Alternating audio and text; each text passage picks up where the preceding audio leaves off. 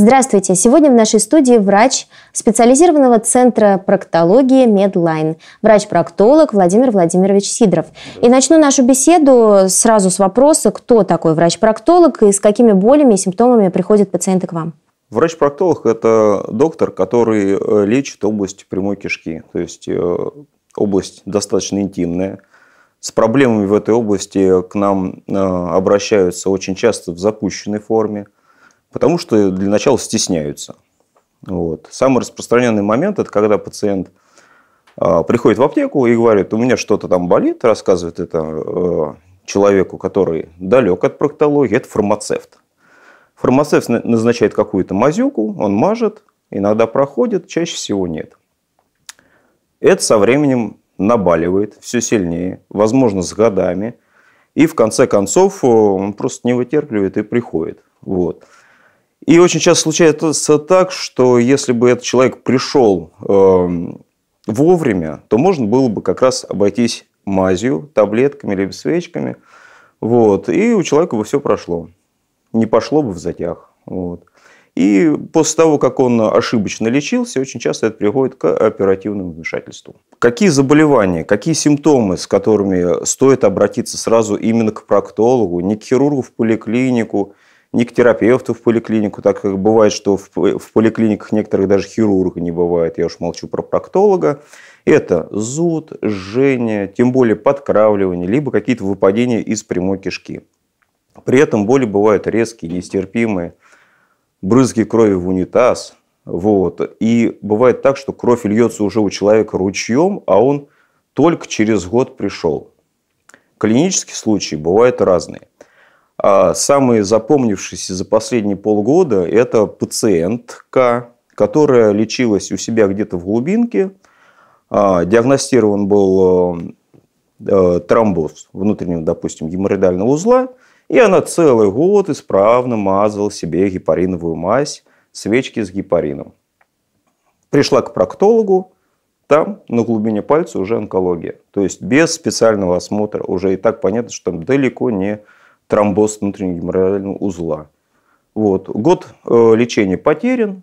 Год назад можно было бы обойтись э, лечением э, более таким щадящим, хирургическим. Вот. То есть в случае с онкологией откладывать не стоит. Ну, э, это такие прям э, уже очень страшные запущенные случаи, которых э, не на, о которых не надо забывать. Но в целом, если даже а, первые симптомы у себя обнаружил пациент, то все равно стоит пойти к врачу, потому что улучшится качество жизни, если я правильно понимаю, как минимум. Это как минимум. Вот. А как максимум некоторые заболевания мы вылечим именно топическими медикаментами, то есть мазями, свечками. Вот. В некоторых случаях их вполне бывает достаточно.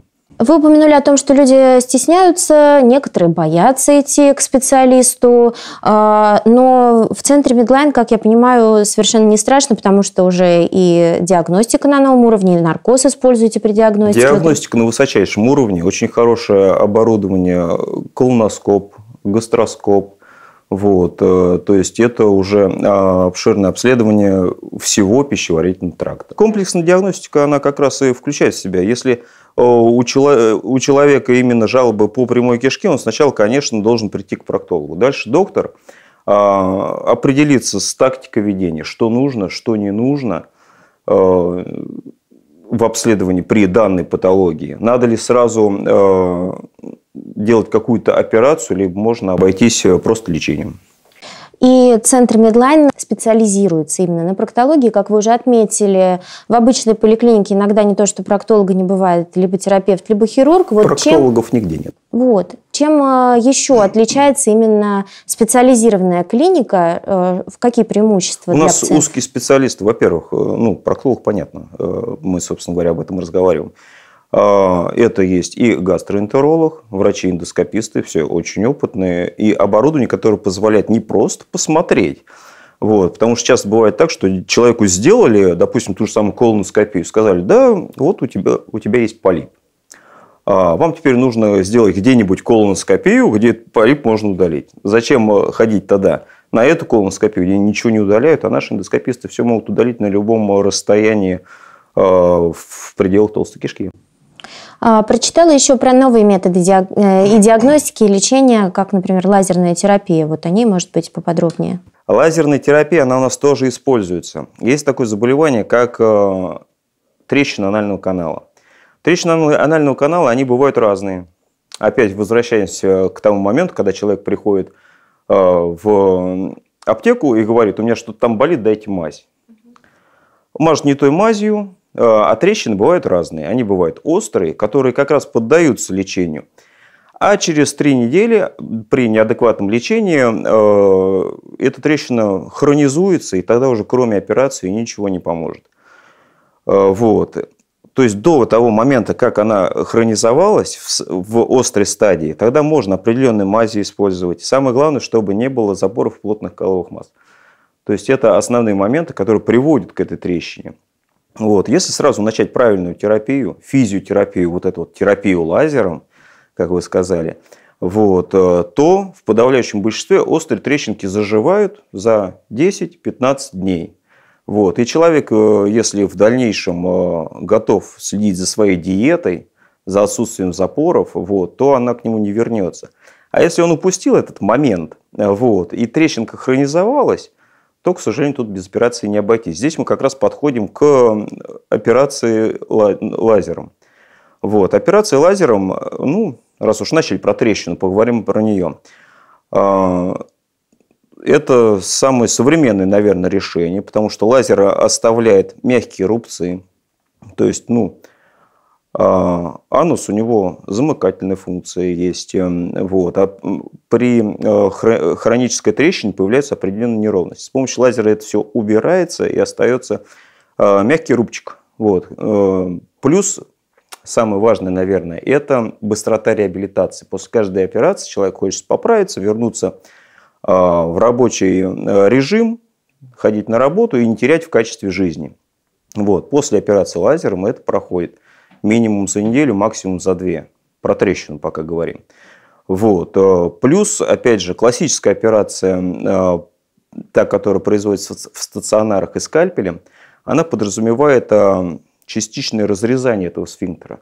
Неполный сфинктертомия, так называемая. Вот. Мы это э, успешно заменяем введением ботулотоксина. То есть ботекс распространено, что девушки колят в лицо, ну, не только в лицо. А, введение ботокса заменяет разрез этого сфинктера. То есть мы мышцу не травмируем, не разрезаем. Вот, это органосохраняющий момент. Мы вводим этот ботокс, который не выводится в течение полугодия, вот, что обуславливает скорейшее заживление. И теперь вопрос для сомневающихся или для тех, кто все еще, допустим, стесняется. Как проходит э, первичный прием э, в Медлайн? Ну, во-первых, хочу сказать, э, молодцы те, кто приходит при первых звоночках. Вот. Те, которые все же запустили, и у них уже все наболело, они не могут дотронуться до этого места, формируется уже боязнь похода в туалет, а это, опять же, формирует запоры у человека. То есть тут психология же включается. Вот. И это усугубляет симптоматику. В конце концов, наболело так, что какого-нибудь э, мужчину, который работает там тяжело где-то в глубинке, его просто жена заталкивает в кабинет и говорит, вот иди, иногда даже садятся рядом. Вот. Они боятся, стесняются, на самом деле это совсем не страшно. Вот. Во-первых, это не больно, если это наболело, мы всегда подколем местную анестезию. А психологический момент, э, шортики проктологические, пожалуйста, человек может воспользоваться при желании. Одевает, уже психологическая какая-то защита присутствует. Ложится на бочок, все, уже спокойно, а то еще давление подскочит. Вот. Э, осмотр проходит, пациент встает, и чего же я боялся, собственно говоря.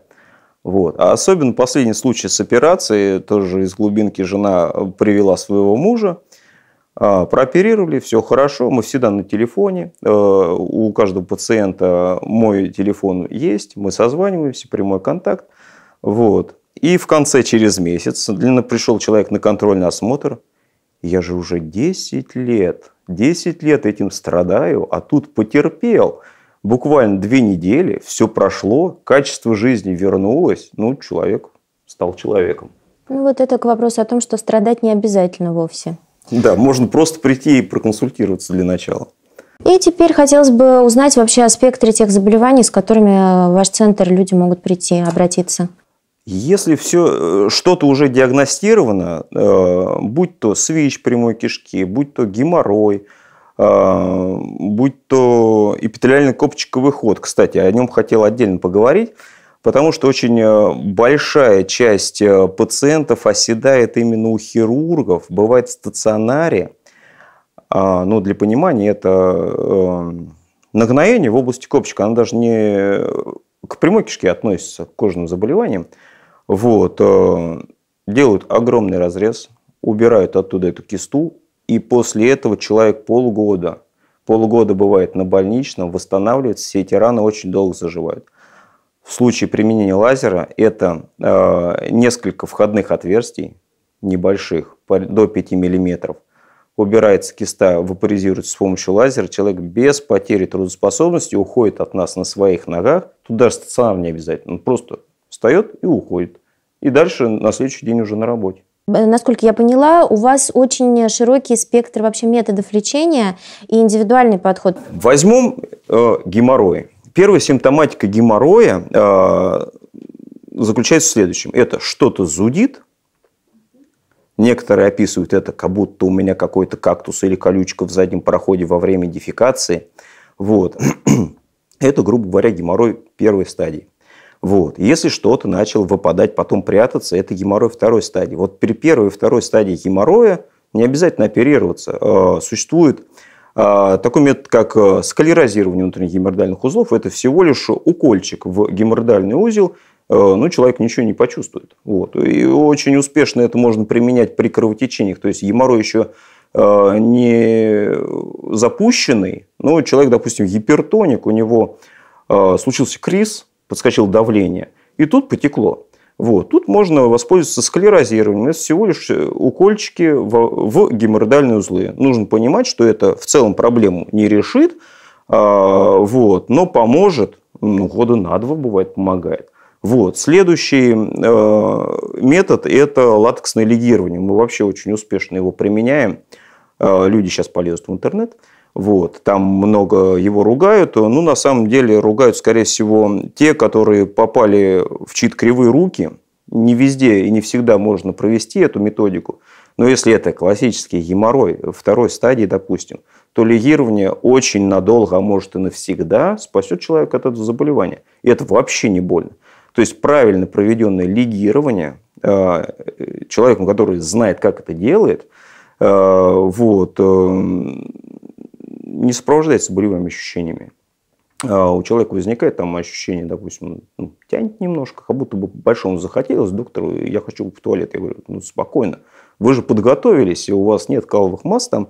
Это просто последствия легирования. На следующий день он просыпается, его вообще ничего не тревожит. Также ходит на работу. Там легкие ограничения в виде э, ограничений тепловых процедур ограничений подъема тяжести, и все. Вот. Ну, а следующий метод, э, про который мы уже говорили, это лазерная хирургия. Ну, мы ее используем при геморроях второй-третьей стадии. Очень редко четвертой, но четвертый тут уже гибридные технологии. То есть э, проктолог, нормальный проктолог, это не волшебник, и, а лазер это не волшебная палочка, которую вокруг ануса поводили, там, допустим, все прошло.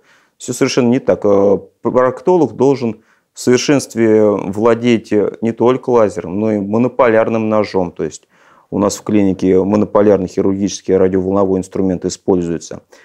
И легированием, и лазером, и знать физиотерапию. Вот. То есть и в каждом конкретном случае подход индивидуальный. И давайте напомним нашим телезрителям, что все же заболевание – это не приговор, терпеть не обязательно – и стоит Однозначно. обратиться, найти хорошего специалиста и непременно обратиться к нему. Таковые есть в центре Медлайн. Итак, в нашей студии был врач-проктолог специализированного центра проктологии Медлайн Владимир Владимирович Сидоров. Спасибо за очень полезную, Пожалуйста. я думаю, беседу. До свидания.